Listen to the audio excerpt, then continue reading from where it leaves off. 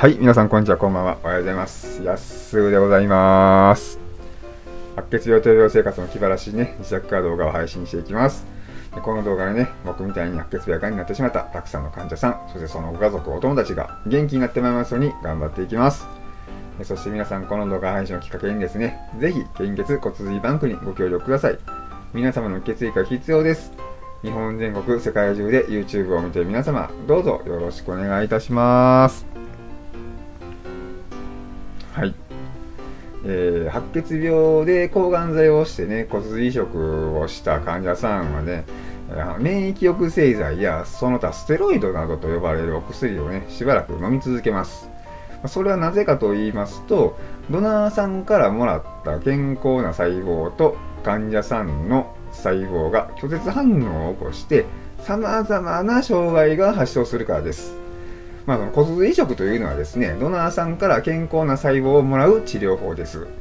でその細胞を患者さんの体に入れることによって、もともと患者さんの体にある細胞とね、患者さんあの細胞と、まあ、先ほども言いました、ドナーさんからもらった細胞、健康な細胞がですね、その患者さんの細胞と仲良くなれずに、拒絶反応を起こして、喧嘩をしてしまうんですよ。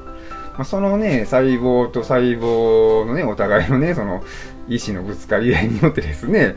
体内のありとあらゆる臓器にね、多大なるもう壮絶な影響を、あの、及ぼしてしまうんですよ。まあね、だからね、そうさせないように患者さんとドナーさんのお互いの細胞の活動をね、穏やかに優しくさせるために、免疫抑制剤やステロイドといったものをね、使います。まとめますと、免疫抑制剤やステロイドがね、お互いの細胞のね、活動のペースをゆっくりにさせるんです。まあ、僕は今もその免疫抑制剤を飲んでいます。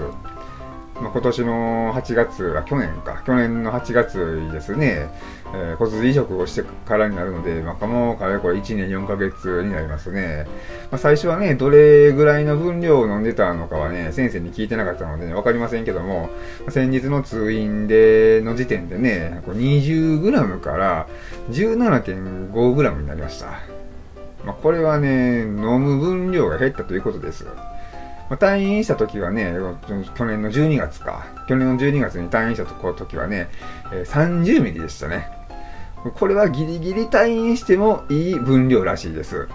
まあ、看護師さんやってる友達に、話したらね、多いな30でも多いで、でも今の10 20と17.5か、今でも多いけどなってこう言われましたけどね。まあね、その友達からしたら、その、なんていうんですか、20g でも 17g でも多いらしいんですけども、まあ僕には何のこっちゃわかりません、本当に。まあ、免疫抑制剤というのはね、先ほども言いました、細胞のね、活動を優しくしてくれる他にですね、まあ、その名の通り、免疫をね、抑制する薬なので、僕の体の免疫力を抑えます。僕だけじゃないね、飲んでる患者さんたちの免疫力を抑えます。もともと持ってるやつね。その免疫力を抑えるとどうなるかと言いますとですね、感染症にかかりやすくなります。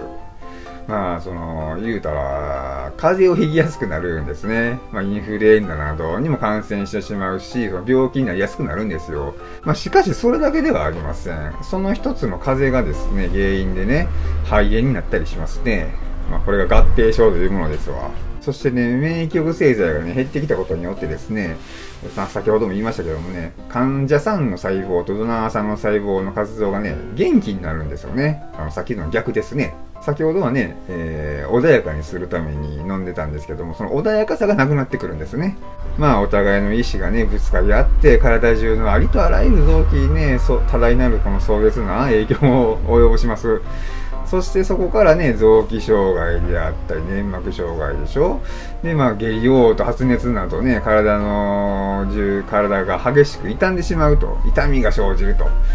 痛い痛い痛い痛いってなるんですよね。なので、まあ、免疫抑制剤が増えても減っても、何かしら影響が出てしまうんです。まあ、それを軽減するためにですね、ゆっくり時間をかけて、ドナーさんと患者さんのね、細胞を馴染ませるように、免疫抑制剤の飲む分量をね、調整していかなければなりません。でその分量がね、今回の通院で久しぶりに調整されました。分量をね、調整してね、経過観測をして、え問題なければまた減らすと。で、その後問題なければまた減らすというね、免疫抑制剤ステロイドを飲んでる患者さんはね、大体そんな治療方法やと思います。まだから病気って治るのに時間がかかるんですよ。まあ、僕はね、今年の6月にね、肺炎になってしまって再入院しました。でその時はね、免疫抑制剤の分量はね、5mg でした。入院する前ね。まあ、体も元気になってきたし、そろそろ職場復帰のためにね、少しの時間だけ仕事のそのお手伝いにね、行かせてもらってたんです。まあ、しかしその時点でね、肺炎になってしまったんで、まあね、確かに鼻風邪っぽかったんですがね、まあ、そこから一気に熱がガッと上がって、まあ、結果的には肺炎と診断されてしまったので、まあ、体はね、思いのほかまだまだ弱かったんだなとね、思いました。まあ、免疫抑制剤をね、飲んでると患者さんはね、そんなことがね、起こることも、まあ、あります。まあ、これからね、僕は、まあ、前回の肺炎のようなね、ことは繰り返したくないので、まあの、分量が減ってきたからといって、調子に乗らずにね、やっていきます。おとなしくね。えー、今日は以上になります。えー、最後まで見ていただきましてありがとうございました。この動画がいいと思いましたら、グッドボタンとチャンネル登録をよろしくお願いします。